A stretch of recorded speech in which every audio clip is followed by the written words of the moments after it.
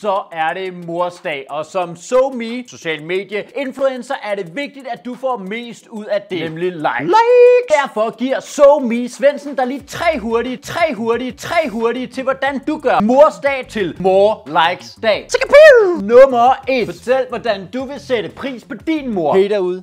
På en dag som i dag synes jeg, det er vigtigt, at vi sætter pris på den, vi holder allermest af. Husk at subscribe min kanal. Derfor har jeg været ude og købe den her æske chokolade. Og det må gerne være lidt vildt. Og øh, den her bil til min mor. Du ser, kom væk fra min bil! Jeg håber i hvert fald, at hun bliver glad for den. Husk at give et like, hvis du også godt kan lide øh, din mor. Det vigtige er, at du ser godt ud. Du kan eventuelt have en rabatkode med. Nummer 2. Lav en skide sjov video med typiske morting. Du finder bare noget på internettet og kopierer. Det er cirka det samme, de siger. Godt, vi skal have fundet en måde at fejre morsdag, og der må vi godt tænke helt ud af gaveboksen. Tak fordi I er kommet til det her pressemøde om den aktuelle morsituation. Alle møder siger altid, gå ind på dit værelse. Jeg kan godt lide min mor. Du vil gerne fejre morsdag, men hvordan gør du? Her er tre tips. Det vigtigste er, at du siger noget om, at din mor skal have vin. Det giver mange likes, og måske kan du lave et collab med et vinfirma.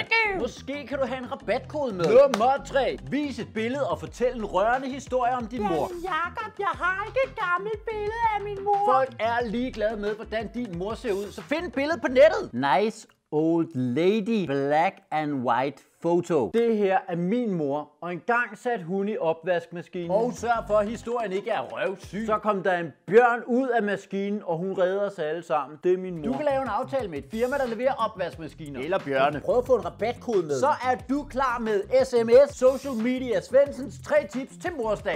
Like og subscribe for flere sms tips.